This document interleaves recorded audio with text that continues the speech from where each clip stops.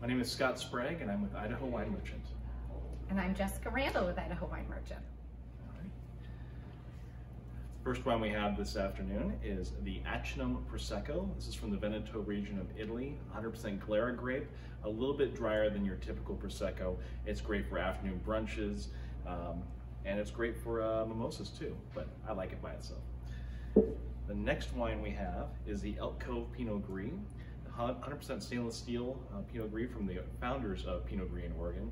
Very crisp, lots of apple flavors, peach, lychee, very nice wine to go with a multitude of different foods. I'm sure most of you are familiar with this. This is the Rombauer Chardonnay. This is their new release. It's the 2019 vintage, so it is going to be, it's ready to drink. It is a great all year round Chardonnay, but right now going into some cooler weather, it's got good body, it's got good oak, so it's a good time to be um, stocking up on this stuff before the holidays. 2018 Chehalem, Chehalem Mountains Pinot Noir. If you are a Pinot, a Pinophile like myself, this is the one to get. Uh, this wine has this great spicy quality to it with a little bit of that cherry and uh, red fruit going through. Uh, nice medium body, and I love this wine with, uh, with barbecue. And moving on to the Malbec. This is from Patagonia, the southernmost growing region in the entire world. Uh, this is from a winery called Bodega Noemia. We love to call it the Elisa. So if you have Elisa in your life, this wine's for you. Very delectable wine with anything like lamb or steak. This is our Walla Walla Vintners Sangiovese. Some of this might look a little different. A lot of you have probably been used to seeing the red barn on here, but Walla Walla Vintners was purchased a couple of years ago.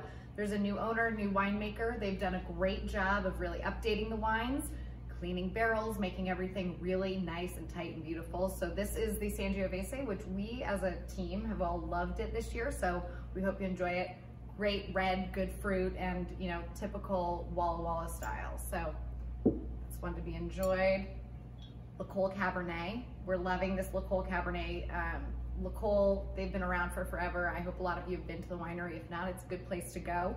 Um, L'Ecole's been making wine for over 30 years now in the Walla Walla area. This is their Columbia Valley cuvee, so they're able to buy some fruit from their friends around uh, Walla Walla and throughout the Columbia Valley. This is their Cabernet. Beautiful, goes great with a lot of the fall dishes you're gonna be preparing here shortly.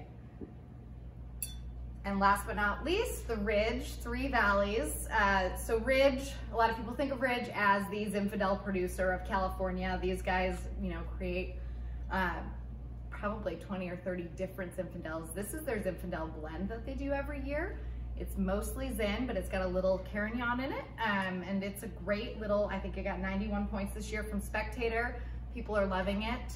We've had um, a lot of success with just people, you know, pouring it by the glass and taking it home and enjoying it a lot. So worth a good pickup this year. and We hope you enjoy it tonight.